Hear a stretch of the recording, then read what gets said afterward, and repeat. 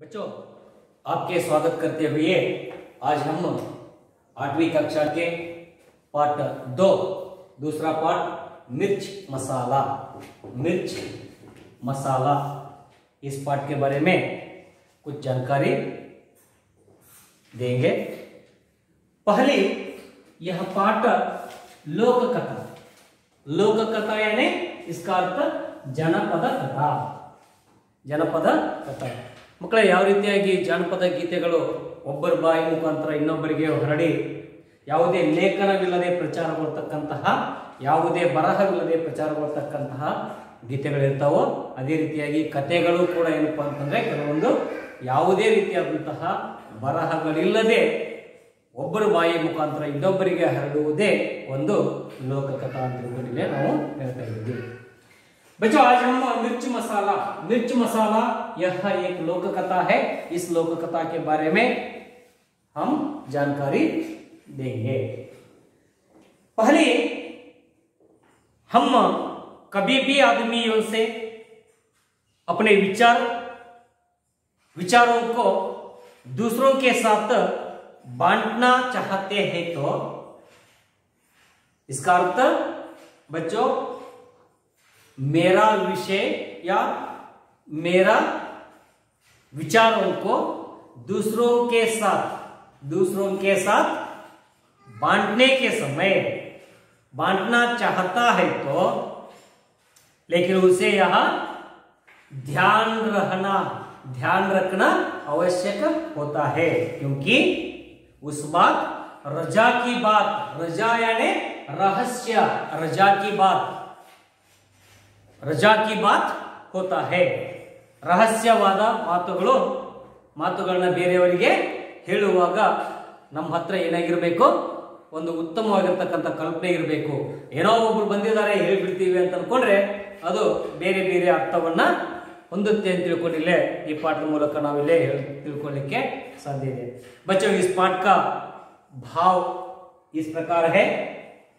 एक दिन श्याम को बोलो आँगन में, बोलो, आँगन में बैठकर दूध पी रहा था। बच्चों, शाम के समय, शाम यानी सायंकाल, शाम के समय बोलू नामक एक व्यक्ति ने,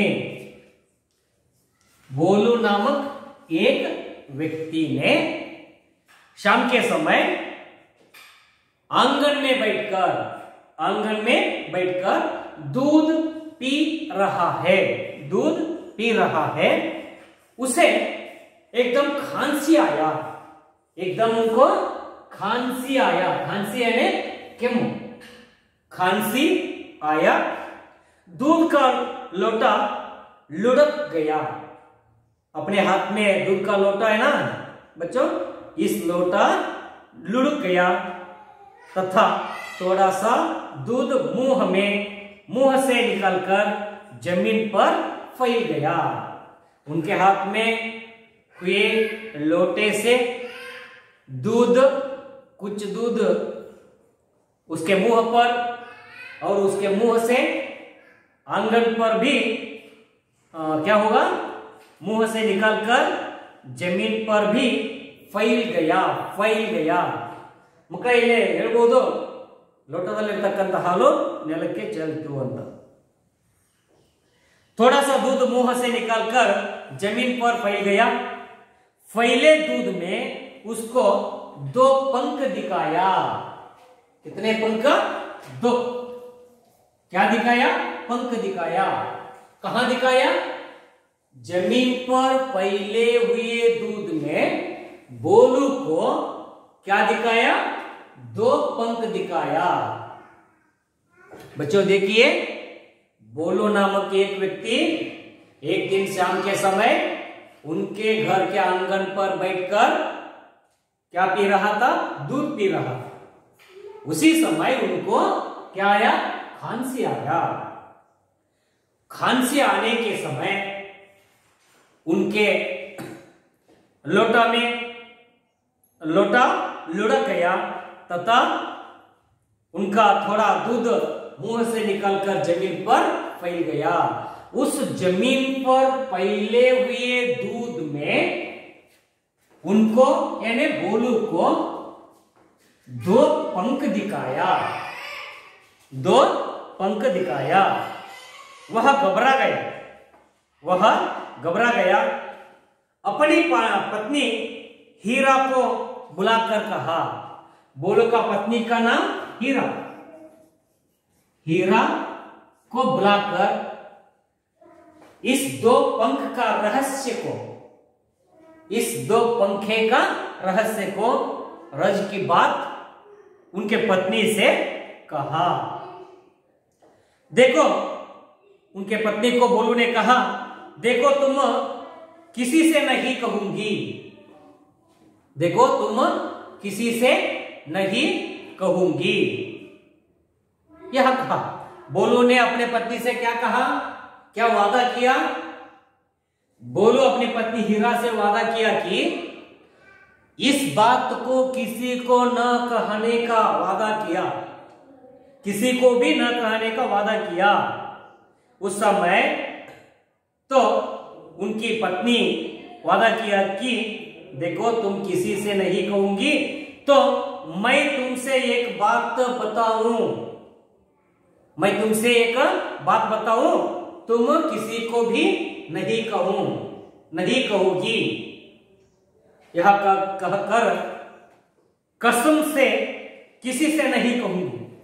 यह पत्नी ने, उनकी पत्नी ने वादा किया कि मैं किसी को भी नहीं कहूँगी। यह वादा देकर पत्नी बोली, बोलो ने, दूध में पंख की बात बता दी। बोलो अपने पत्नी को, क्या बताया? अपने दूध में आने वाली दो पंख के कहानी, दो पंख के बारे में अपने पत्नी से कहा। देखो बच्चों, बोलू, एक दिन शाम के समय अपने घर के आँगन में बैठकर दूध पी रहा था। उस समय उनको खांसी आ गई। उस खांसी आने के बाद अपने हाथ में पकड़े हुए लोटे से दूध और अपने मुँह पर और आँगन पर फैला हुई, उस फैले दूध में क्या आया? दो पंख, यानी रेखे आया।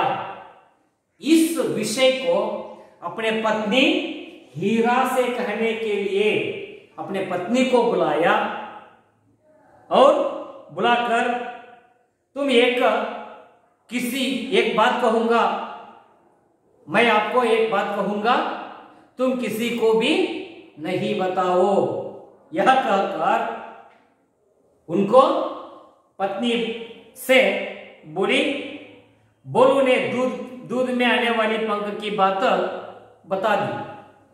उसके बाद हीरा इस बात को पचा ना पाई देखो बच्चों हीरा यानी बोलू का पत्नी इस बात को ಪಚಾ ನ ಪಾಯಿ ಅಂದ್ರೆ ಅರಗಿಸಿಕೊಳ್ಳಲಾಗಲಿಲ್ಲ ಇದರರ್ಥ ಬೋಲು ತನ್ನ ಬಾಯಿಯಲ್ಲಿ ಬಂದಂತಹ ಎರಡು ರೆಕ್ಕೆಗಳ ವಿಷಯವನ್ನು ಹೇಳಿದ ತಕ್ಷಣ ಆಯ್ತು ನಾ ಯಾರಿಗೂ ಹೇಳಲ್ಲ ಅಂತ ತಿಳ್ಕೊಂಡು ಮಾತು ಕೊಟ್ಟಿದ್ಲು ಹೀರಾ ಆತ ಹೋದ ತಕ್ಷಣವೇ ಈಕೆಗೆ ಅದನ್ನ ಅರಿಗಿಸಿಕೊಳ್ಳಿಕ್ಕೆ ಆಗ್ತಾ ಇಲ್ಲ ನಾನು ಕೂಡ ಯಾರಿಗಾದ್ರೂ ಹೇಳಲೇಬೇಕು ಅಂತ ತಿಳ್ಕೊಂಡು ಆಕೆ ಏನ್ ಮಾಡ್ತಾ ಅಂತಂದ್ರೆ ಹೀರಾ ಇಸ್ ಬಾತ್ ಕೋ चम पचा न पाई उसको पेट फुलाने लगा ನಾನು ಯಾರಿಗಾದ್ರೂ ಹೇಳಲೇಬೇಕು ಅಂತ ತಿಳ್ಕೊಂಡು हीरा के पेट फुलाने लगा अपनी पड़ोसिन चंपा से कहा पड़ोसिन यानी अपनी घर के पास रहने वाले एक उनकी सहेली के बारे में, सहेली के पास, यानी चंपा, हीरा की सहेली चंपा। चंपा के पास कहने के लिए गए, चंपा के पास कहने के लिए गए।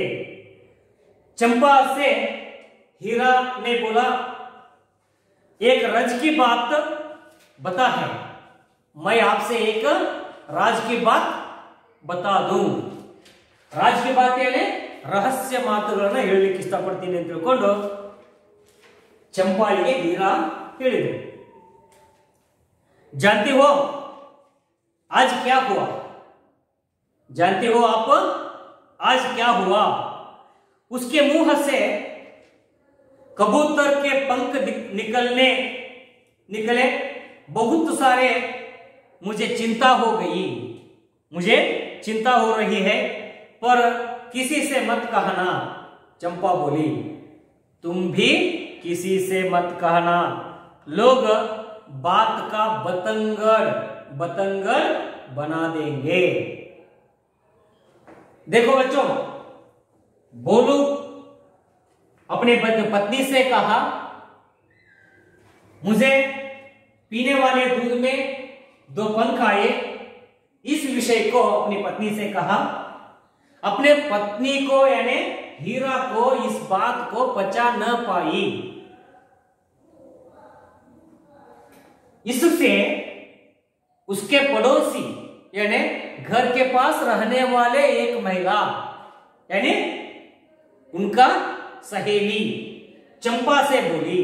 चंपा के साथ बोलने के लिए चंपा के घर जाते थे।